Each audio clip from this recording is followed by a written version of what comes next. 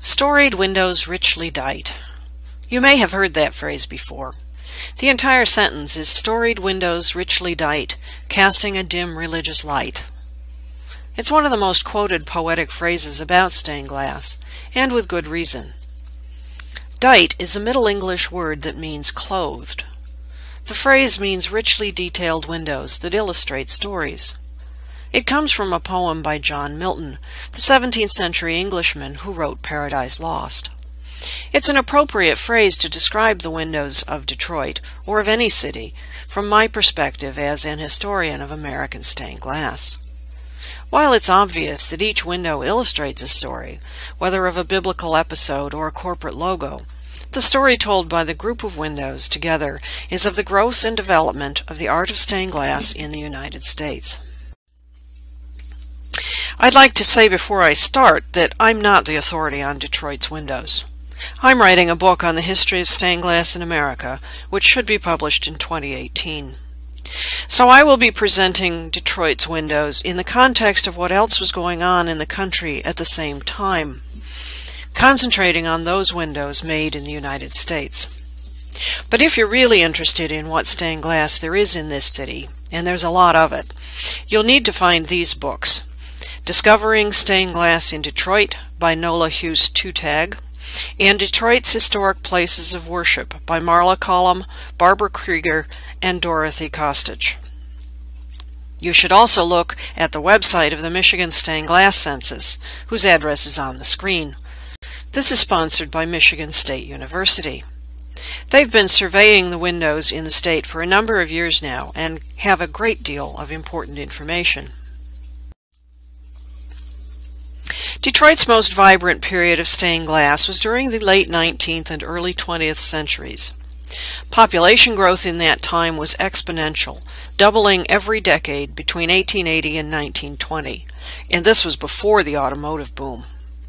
Over a third of this growth was immigrants, most from Euro Germany and Eastern Europe. Detroit was third in the nation as a hub for immigrants, after New York and Chicago. The history of stained glass in Detroit during the heyday of the craft in the United States is dominated by imports from Germany that adorned the many Catholic churches in immigrant neighborhoods in the city. In 1900, almost 40% of the city's population was Catholic, more than twice the average of other Midwestern industrial cities. In general, Catholic congregations favored what is called Munich-style glass, such as the window shown here by Meyer of Munich. Munich glass is characterized by a hard, realistic style, very finely and heavily painted with sentimentalized figures. A distant second in volume is glass from England in Protestant churches. The various Protestant faiths comprised almost 60% of the city's population. The largest sect was Lutheran, with mostly German immigrant adherents, followed by Methodists, Episcopalians, and Presbyterians, the majority of whose followers were of British descent. Lutherans, like the Catholics, tended to follow ethnic preferences for stained glass and bought from German studios. But the British-based faiths preferred English stained glass, like this window, or American stained glass. It's the American stained glass that we'll be looking at here. The style and history of stained glass has always been connected to architectural style. In the United States, as in Europe, the growth of the Gothic revival in the mid-19th century spawned the development of the craft. The style came to Detroit in the 1840s with the construction of the Mariners Church, which now has modern stained glass. Without any prior history of making stained glass, most American-made windows were quite simple, with geometric quarry fields and painted borders until the 1870s. Several Detroit churches were in the High Gothic style favored in New York, such as the first Jefferson Avenue Presbyterian Church, which was replaced in the 1880s, and the Fort Street Presbyterian Church, both designed in 1855 by Albert Jordan, an architect trained in Connecticut, where he undoubtedly was familiar with the work of Richard Upjohn and James Renwick, the foremost American Gothic Revival architects. and the teachings of the Ecclesiological Society, a British group dedicated to the revival of the Gothic style for church architecture. But the style of the windows was similar to those in the Mariners' Church. We know from records in New York that the colored glass was imported from Germany and was available in only eight colors until the 1860s. Here I show you an aisle window from Trinity Church in New York of 10 years earlier for comparison. Both windows have center fields of white diamonds, lightly painted with floral designs, and richly colored borders and tracery. This was very typical for the period between the 1840s and the 1870s. The sources of the designs were English architecture books like those by A. W. N. Pugin, decorator of the Houses of Parliament in London and one of the most important designers of the Gothic Revival. In Detroit, the earliest and longest lived stained glass studio was begun in 1861 by Charles Friedrichs and Peter Staffen. Friedrichs was German by birth. Staffen's parents were also, and it's not known where they learned the craft. But these early windows suggest a strong German influence in design rather than an English one, as we saw in the Fort Street and Jefferson Avenue Presbyterian churches. The colors are basically the same eight that were available, but the painting of the figures and architectural details has become more sophisticated than that in the Presbyterian churches, suggesting an art background for one or both of the studio's founders. In 1878, Charles and Peter added the words Detroit Stained Glass to their company name. Staffen left the company in 1896, his partnership was taken over by Edward Wolfram. When Wolfram left in 1914, the company became the Detroit Stained Glass Works. You can just see the end of the name in the center photo. They closed in 1970, having been in business for a remarkable 119 years. By comparison, Tiffany Studios lasted about 48 years. Here are a couple of examples of their more modern work. The sketch is probably from the 1940s or 50s, as is the window. The Gothic style gave way to the Romanesque in the 1870s on the East Coast, led by H. H. Richardson in Boston. His second church, Trinity, on Copley Square, at the heart of the Back Bay, revolutionized church design.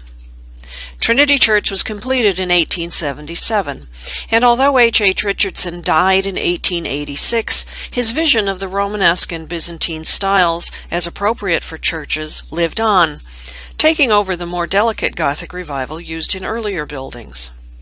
By the early 1890s, a spate of church building in the area now called Midtown brought Richardsonian Romanesque to Detroit.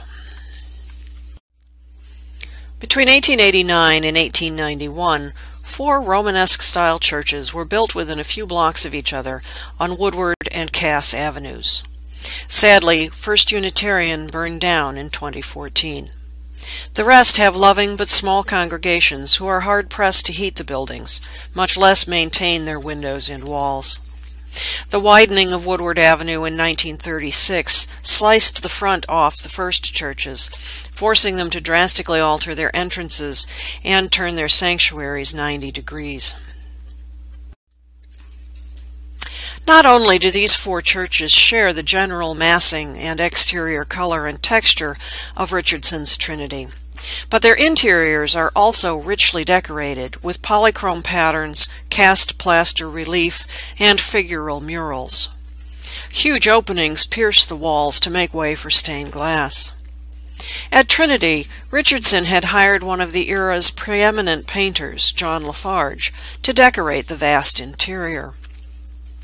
La Farge had recommended that the stained glass windows should be of simple patterning and color in order to show off his murals to their best advantage. Although this did not happen in most of the windows, La Farge did create a set of such windows in the tower, in a fish scale pattern with a limited but sophisticated palette of complementary colors – green and red, yellow and blue, and purple and orange. In First Presbyterian, we have a similar setup. As at Trinity, lower windows in the church are an assortment of memorials made by different studios. But in the Tower Clerestory, there's a unified group of decorative windows with a simple pattern of rectangles and rondelles. What makes them remarkable is their color and materials. Evoking the dawn, they incorporate deep gold rondelles at the bottom, symbolic of the rising sun. Above these, in the center field of the windows, pale yellow blends into salmon pinks, which in turn darken into aqua and green. At the top of each lancet is an amazing hand-spun rondelle, deep turquoise, with a dark mysterious center and lighter penumbra, like a lunar eclipse. In palette and selection of rondelles, the tower windows are somewhat similar to a very early Tiffany window. Both of these windows are terrific examples of the use of glass for its sake alone. More remarkable is First Congregational, where almost no memorial windows have encroached on the original decorative glazing. The architect of First Congregational was John Lyman Faxon of Boston, who clearly had Richardson's Trinity in mind when he decorated this church. Even the pews are almost identical to those in Boston. The vast transept windows, a large rose above five small lancets, are made mostly of colorless translucent glass cut in repeating circular quarries, outlined in a border of autumnal leaves in shades of brick, gold, moss, and purple. Far from being cookie cutter windows, as one source describes them, they are another wonderful example of using great glass just for the sake of it being great stuff. John Faxon, being from Boston, tapped Boston glazier Donald MacDonald to produce these fascinating windows. MacDonald loved interesting glass. The lively streaks and the interesting juxtaposition of purples, reds, and greens, interspersed with small vibrant jewels, gives this simple border pattern unexpected vivacity. The glass was made in Berkshire County in western Massachusetts at the Berkshire Glass Works, one of the first American glass factories to make colored glass for windows. On the right are examples of blown colored glass made at Berkshire, which they began producing in 1869. Similar glass can be found in other MacDonald windows, such as this detail from the Flint Memorial Library in Middleton, Massachusetts, made around the same time. The large hand-spun rondelles in reds, ambers, and deep blues were probably made at the South Boston Antique Glassworks. I apologize for the sort of pixelated appearance here. There was hardware cloth over the window when I photographed it. Tiffany used similar rondelles in many of his windows. In the front of the church is a group of prophets, also by Donald MacDonald. These are quite typical of MacDonald's figural style, with an analogous color scheme, simple drapery, and loose, spontaneous brushwork in a reddish-brown paint on light brown glass. Here's a comparison of one of the prophet's faces to a face in another MacDonald window in Massachusetts, where most of his work can be found. You can see the use of brown glass, which makes his figures all look well tanned. First Unitarian Church was designed in 1890 by Detroit architects Donaldson and Meier. There's no indication that they saw Richardson's Trinity in person, but like Richardson, they brought the country's most revered stained glass artist, John La Farge, to create several windows in their church. The first window was prominently placed in the front facade of the building. In 1959, it was given to the Detroit Institute of Arts, where you can see it today. A rather peculiar composition, each section was meant to be viewed as a separate window. From left to right, the first window represents the angel of help, the center window, faith and hope, and the third, Abou Ben Adhem, based on the poem by Leigh Hunt, in which an angel appeared to Ben Adhem, writing a list of the names of those who love the Lord and their fellow men. Interestingly, each window relied on a previous design. In 1890, when the windows were made, La Farge was busy reclaiming his good reputation and rebuilding his career following his receipt of the Medal of the Legion of Honor at the Paris Exposition in 1889. Commissions were pouring in, and he had to rely on his assistants to help complete designs and projects. Thus, the figures in the Angel of Help window are taken from a previous window of the same name in North Easton, Massachusetts. On the left is the window from Detroit, and on the right, North Easton. The different treatment of the figure's gowns marks the difference between La Farge's early style and his mature one. In the North Easton window, made in 1887, there are many fewer pieces of glass in the drapery. La Farge relies on changes of color and density within a single piece for the modeling of the fabric. In the Detroit window, created only three years later, he has abandoned the large pieces and now makes each fold of cloth out of several different pieces, each a different color, to obtain a greater effect of realism. Again, on the left, the Detroit window, and on the right, the North Easton window. The contrast between the types of drapery is even more obvious here. The center two lancets, depicting faith and hope, repeat figures that were used in several other compositions. The angel on the left, for example, can be seen in miniature in the Thomas Crane Memorial window in Quincy, Massachusetts. The woman on the right is practically a stock figure in La Farge's work. She's similar to the figure on the far right in the red gown, although the pose is flipped and the attitude of the head is slightly different.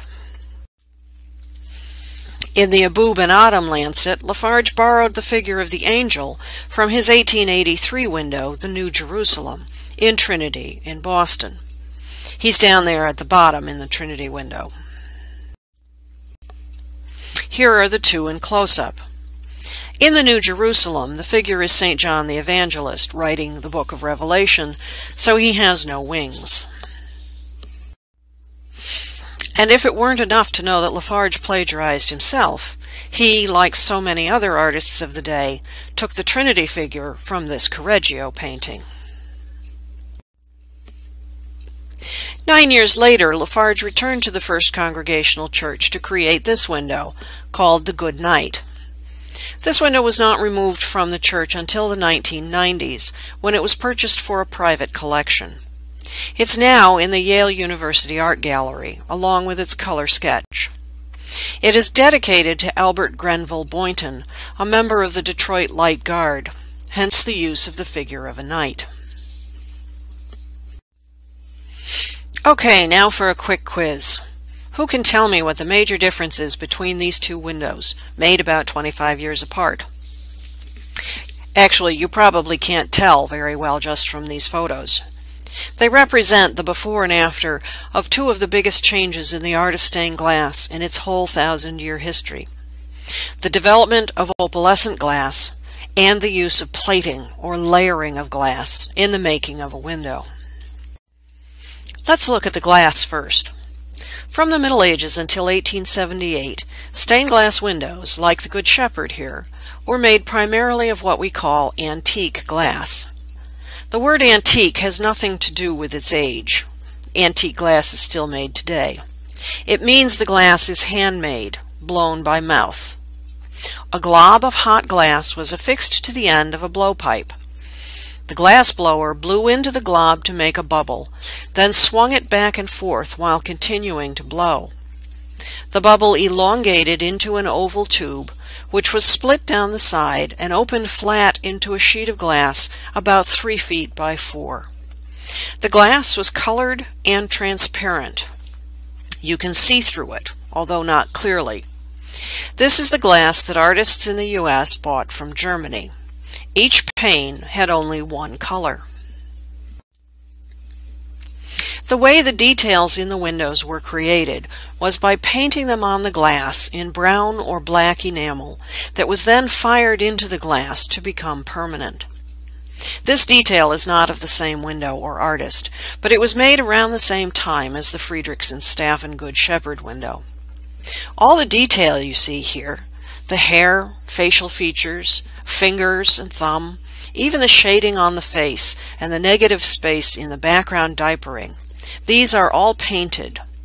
The colors you see, the orange, green, tan, and blue, are in the glass. They're not painted on.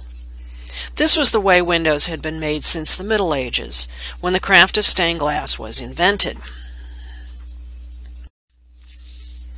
This was all changed around 1880 by these two men, John La Farge and Louis Comfort Tiffany. Working separately, they were never partners or even friends. They both began to explore the possibilities of using opalescent glass in stained glass windows at the same time in the late 1870s. Their goal was to eliminate the need to paint the glass, because paint dulled the transmission of light and, in their opinion, made the windows muddy looking. They didn't invent opalescent glass. Opaline and opaque glass had been around for several centuries, and in the mid to late 19th century, many glass factories in the US and Europe made vessels out of it, like these you see here. La Farge and Tiffany's genius was to conceive of using this glass for windows. They went to glass houses in Brooklyn, where glass objects like these were being made, and worked with them to fabricate the glass in flat sheets for use in windows. The flat glass they produced was translucent, not transparent like antique glass. Light came through it, but you couldn't see through it. It often had more than one color in a sheet. Streaks, mottling, and rippled or folded textures were possible, because this was not blown glass. Instead, the molten glass was poured on an iron table and rolled, which gave it a texture. They loved this glass for the effects it could create without having to use paint to model and shade forms. The swirls looked like curling leaves, and the darker areas gave the impression of shadow. Without paint, the windows were brighter. They glowed more. This wasn't all Tiffany and La Farge did. They also changed the way the windows were put together. Traditionally, the pieces of glass were held together with lead came, which is a strip of lead with an H profile in the upper left. Came has always been available in a variety of sizes, which you can see on the right. Traditionally, the glass was assembled in a single layer, which you see on the bottom. But Tiffany and La Farge were not satisfied with the many colors they now had in opalescent glass. They wanted more, so they layered pieces of glass on top of each other. This process is called plating. The diagram on the left shows two different ways the glass was held together. In one came on the left, or in two on the right. The top picture on the right shows how La Farge layered glass. This window had up to five layers, although I've seen as many as eight. On the bottom is part of the same window after it has been put together with lead, and you can see how complicated these windows become. Tiffany's interest in stained glass continued into the making of the glass itself. He eventually opened his own glass factory to produce both sheet glass and blown glass vessels, although he also bought literally tons of sheet glass from other manufacturers. He is known, however, for the unusual types of glass that he created. Drapery glass like this is some of his most famous.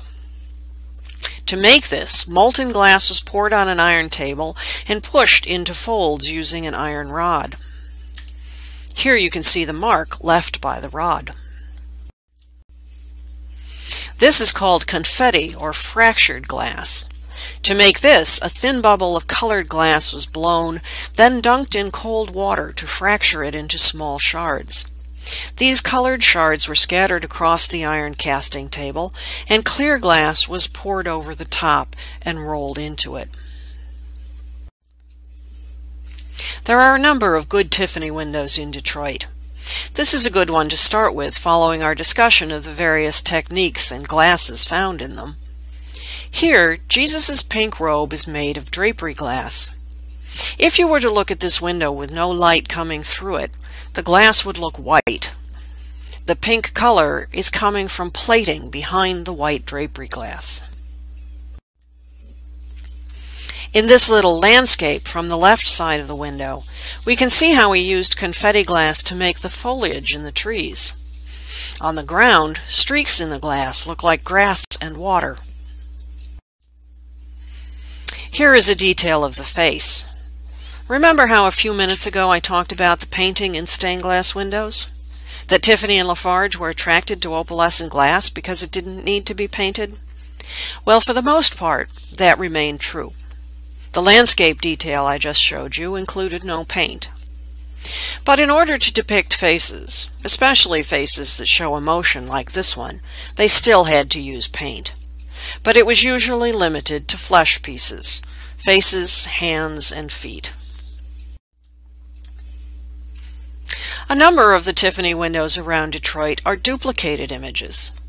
In this lovely window of St. Elizabeth of Hungary, which has a fantastic selection of glass, the figure of the saint came from other windows used around the country. Here she appears in a section of the Red Cross window in Washington, D.C. The cartoon was flipped left to right, but you can see that the lead lines are largely identical. The Good Shepherd was probably one of Tiffany's most popular window subjects. Variations are all over the country, despite the studio saying in 1908 that it would never make more than one duplicate. They also promised not to put similar windows in the same town. Even windows that look like they should be unique, like this image of the young Jesus, were often not, but the use of different titles can make them harder to locate. The version in Boston, for example, on the right is called the Sparrow. On the ground at the boy's feet is a dead sparrow, which is very hard to see.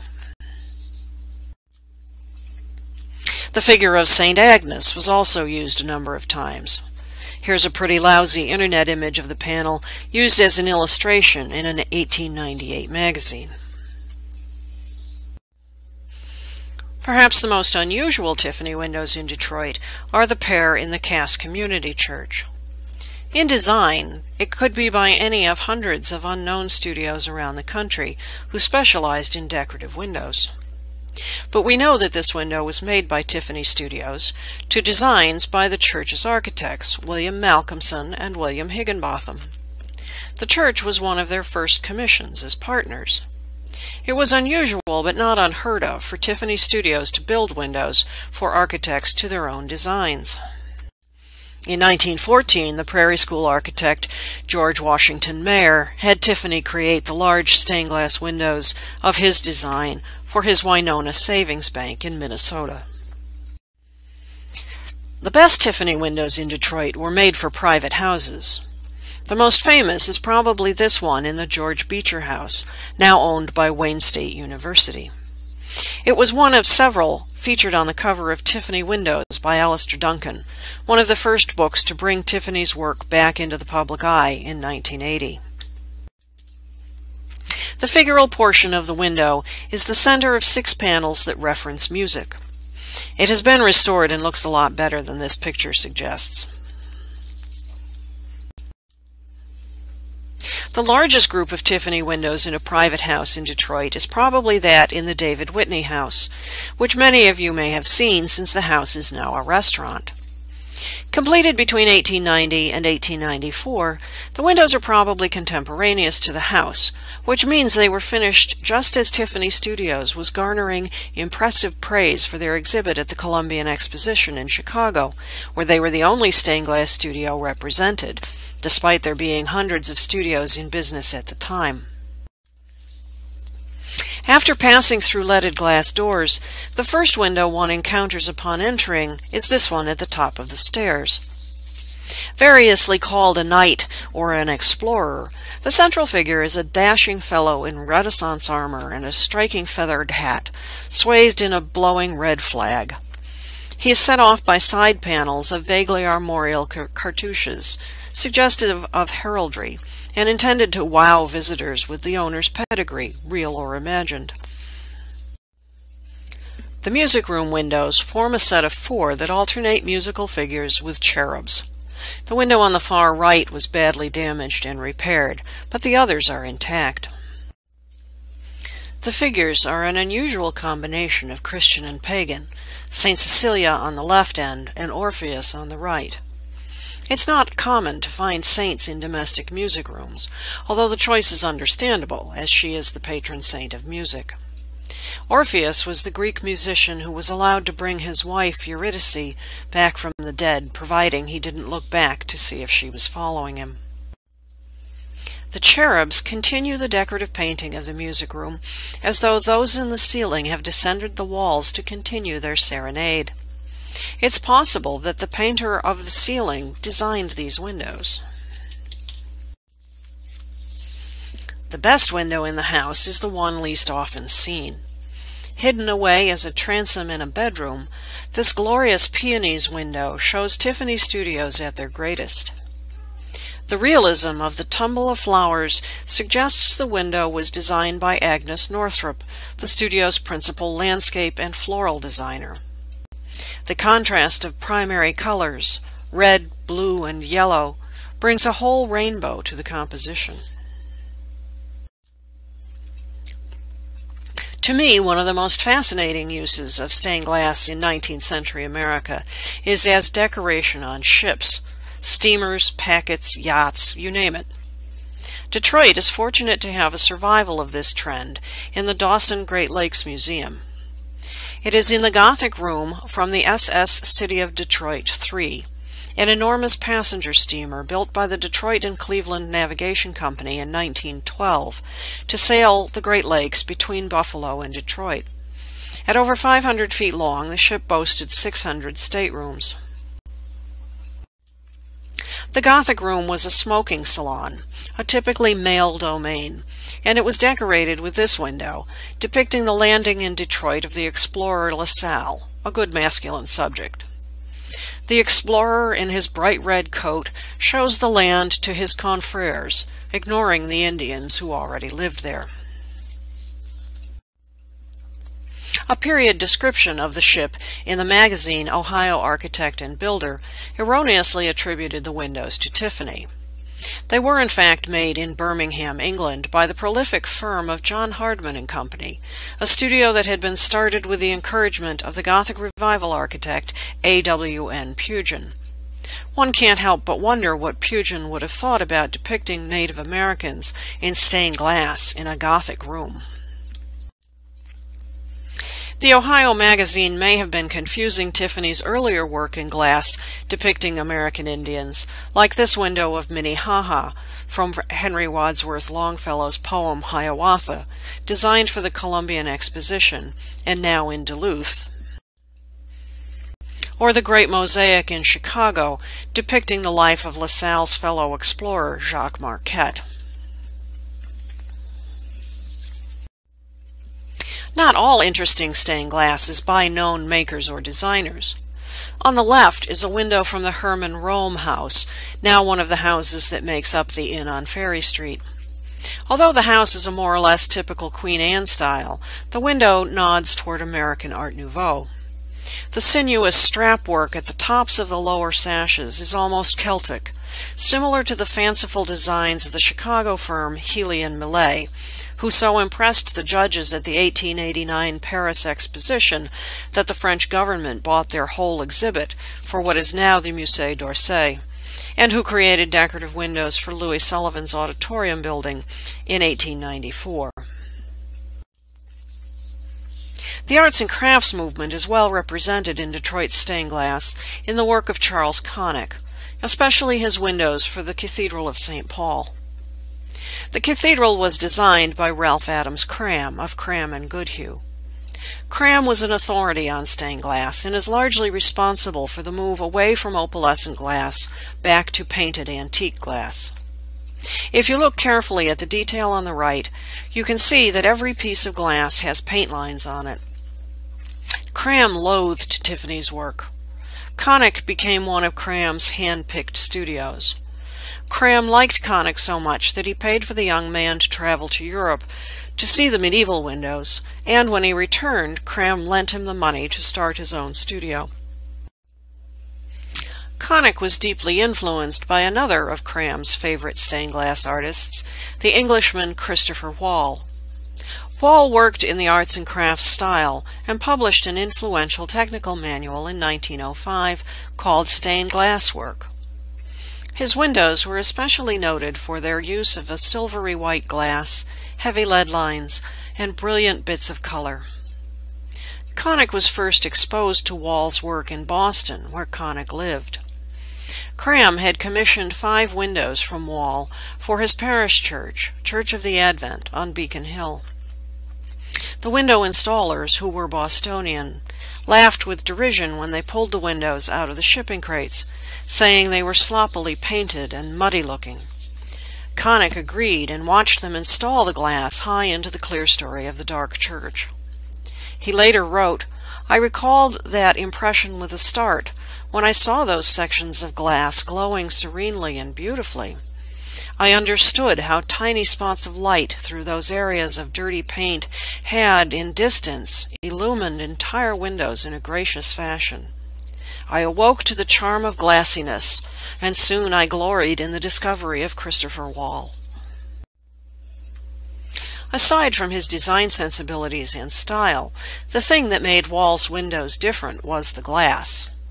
Remember how I showed you how antique glass was made, blown into a long narrow bubble and split to make a large sheet. Whall favored a glass generically called Norman slab. This glass was blown into a square mold about the size of a Clorox bottle. The bottle was cut at the corners to make small sheets about 6 inches by 9. As you can see at the bottom, the slabs were very thick in the center and thinner on the sides. They were also of the most brilliant colors, or of a silvery gray-white with faintly tinted streaks of color. This is what Whall used in his windows. Connick had his own style, but it was clearly influenced by Whall. Although his palette was not always as white as Whall's, he did adopt the intense colors of fuchsia, ruby, rich turquoise, cobalt, and deep amethyst. Until 1925, Charles Connick worked in this style. Many of his windows show the influence of the Pre-Raphaelites, such as Edward Burne-Jones. He was fond of the Arthurian legends and used knights and medieval figures wherever he could. This all changed in 1925 when he visited the Paris Exposition and discovered Art Deco. Another interesting artist who was favored and heavily influenced by Ralph Adams Cram was Harry Eldredge Goodhue, the younger brother of Cram's partner Bertram Grosvenor Goodhue. Harry's first window on the left was for Cram and Goodhue's first church, All Saints Ashmont in Boston, and was installed where it would eventually face this Christopher Whall window on the right. In his early days as a stained glass artist, Goodhue followed the opalescent style of Tiffany and La Farge, as we see here. But his strength as an artist developed when he gave up opalescent glass in favor of antique, following Cram's and Whall's lead. He became an ardent convert. He created his first antique glass window in 1902 for a church in Newport, Rhode Island, and never looked back. He opened his own studio in Cambridge, Massachusetts in 1903 and started writing articles aimed at convincing the buying public to use antique glass windows. Why should we be afraid of pure color, he wrote. The men of the 12th, 13th, and 14th centuries were not. His window for St. John's in Detroit was one of his last. It was actually completed by his wife after his untimely death at the age of 45. It's one of his finest windows. In his later years, his studio produced windows like that on the left, which were more like the work of 19th century English firms like Heaton Butler and Bain or Clayton and Bell, using a lot of heavily painted white glass, dull colors, and perpendicular canopy work. The St. John's window, however, is an example of his most mature and independent arts and crafts style, with a vibrant palette and interesting details. The palette of tertiary colors here recalls the work of William Morris and Edward Burne-Jones. When Harry Goodhue died in 1918, he left a wife and three young sons. The oldest of those sons, Harry Wright Goodhue, followed in his father's artistic footsteps, surpassing him as an artist when just a child. Wright, as he was called, was a prodigy, earning a profile in the Boston Herald when he was just 11 years old. He was 13 when his father died. At 16, he left school to become an artist, much to his uncle Bertram's disappointment. Bertram Goodhue recognized the boy's talent, but despaired about his ability to get along in the world, thinking him a little bit odd. Wright designed his first window in 1921, when he was 17, for a church designed by his uncle. In 1927, he designed two windows for St. Dunstan's Chapel in Christ Church at Cranbrook Academy, the renowned art school in Bloomfield Hills outside of Detroit. St. Dunstan is the patron saint of craftsmen, an appropriate selection for Cranbrook. Bertram Goodhue had originally been chosen to design Christ Church Cranbrook, but passed away before starting. Wright commemorated his uncle in a detail in the St. Dunstan window on the right, holding a model of the church. On the left in the same window is a quirky portrait of Bertram's favorite sculptor, Johannes Kirchmayer. Despite Wright's obvious passion for and understanding of medieval art, Cram and others commented on a certain, quote, weird distortion, unquote, and an element of caricature akin to the work of the English graphic artist Aubrey Beardsley. Others found Wright's colors to be powerful and mesmerizing. One client praised the quote, deep blood reds, tawny yellows, and deep and mysterious blues. Unquote. Cram wrote that Wright, quote, supremely understood space composition, color combination, and the unique quality of the clear silhouette, while he had a passion for azure and handled it in the most masterly fashion. Unquote. Despite Wright's great talent and promise, he took his own life in 1931, a month after he turned 26. In his 10-year career, he had completed a lifetime's worth of mature work. The eulogies were glowing, calling him a genius and one of the foremost designers of stained glass in America, perhaps unrivaled, certainly unsurpassed, in his command of rhythmic line and glowing color. One writer called him the reincarnation in modern times of some spirit out of the Middle Ages. Cram described him as a great, unhappy, and unique genius. On a happier note, Detroit has a couple of other excellent examples of Art Deco stained glass. This is the Mariners Church, whose original diamond-paned windows we saw earlier. In 1955, the church was moved about 900 feet and heavily refurbished. New stained glass was designed by Katharine Lamb Tait of the J&R Lamb Stained Glass Studios, the oldest stained glass studio in the U.S. It's still in business today, although none of the Lamb family are involved with it anymore. Although 1955 is long after the end of the Art Deco period, these windows exhibit the modern forms, a spiky geometry reminiscent of the Chrysler Building in New York. But of course, the queen of Art Deco interiors in Detroit, and one of the finest in the country, is the Guardian Building. Originally the Union Trust Building, the interior decoration was the vision of Wirt Rowland in 1929, using colored marbles with rookwood and Pewabic tiles in a style that draws deeply on Native American designs. The two identical stained glass windows in the east wall of the elevator lobbies actually depict stylized American Indians. One represents fidelity on the right and the other security, representing the ideals of the original banking owner of the building. The windows were designed by George Green from Pittsburgh, who also built windows designed by another artist for Henry Ford's house, Fairlane. He had originally been part of the stained glass company Leake and Green, who designed windows for Henry Clay Frick's home in Pittsburgh. And so we have come full circle in our stories of windows richly dight. The stained glass heritage of Detroit is rich and varied, a microcosm of the craft in America. Thank you.